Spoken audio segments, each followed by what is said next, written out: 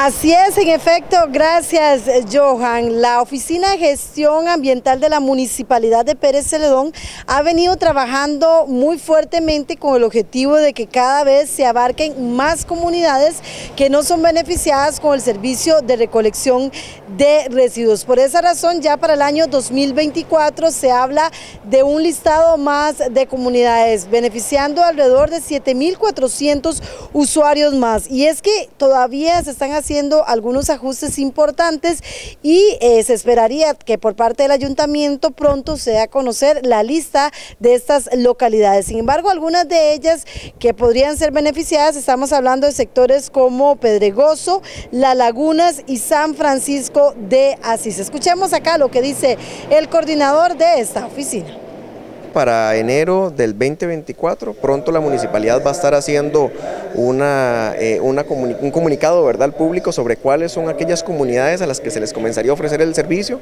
a partir de enero, ¿verdad? que venimos con una apertura de más de 7.400 nuevos usuarios del servicio de recolección.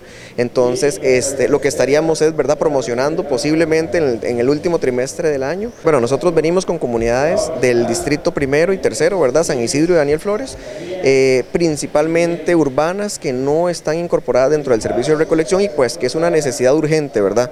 Eh, sobre, sobre las cuales hemos puesto eh, la mirada, ¿verdad? Tanto desde la administración como desde la parte de la Oficina de Gestión Ambiental y Administración de Servicios eh, y pues estaríamos brindándoles el servicio a las comunidades lo que son urbanas, pues que faltan en, nuestro centro, en nuestro centro de San Isidro.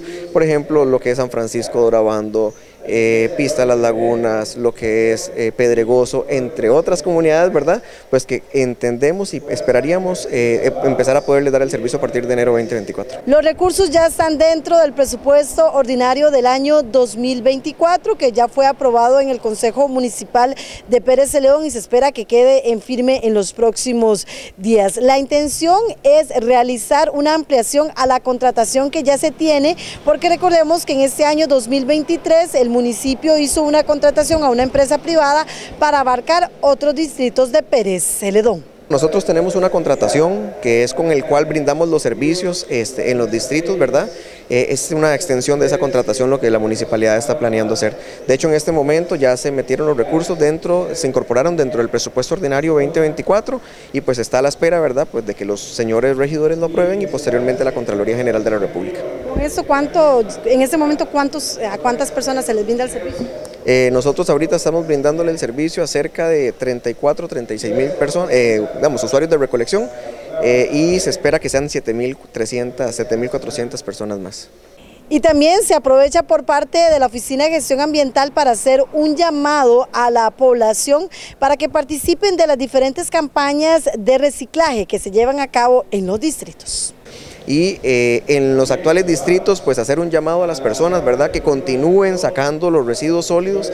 Eh, hay una concepción o una falsa idea, ¿verdad? De que si yo no saco mis residuos no me cobran, no, eh, siempre y cuando la municipalidad pase, ¿verdad? La, tarifa de lo que es el servicio de recolección de residuos sólidos se estará cargando las cuentas de, los, de, los, de, las, digamos, de las personas, entonces eso es muy importante aclararlo porque hay gente que piensa que si no saco no, no se me cobra, ¿verdad?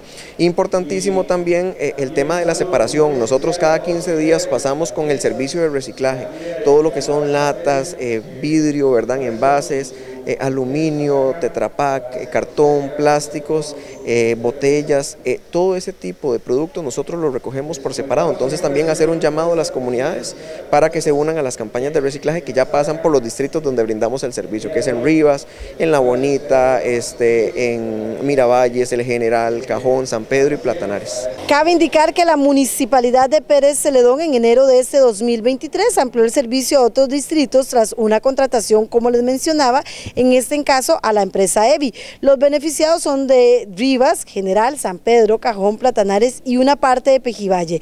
De esta manera se llegan prácticamente a seis, a seis distritos, es decir, la mitad de los que tiene ya el cantón, que son 12 distritos. Actualmente se da el servicio entre el municipio y la contratación privada a 34 mil usuarios, por lo que en el 2024 esperan incrementar a 7.400 usuarios más. Así que a partir del próximo año se esperaría pues incrementar otras comunidades, principalmente de los distritos de San Isidro del General y Daniel Flores que en este momento no tienen el servicio de recolección de residuos. En cámaras, Kevin Serrano les habla a Carmen Picado Navarro en TV Sur Noticias.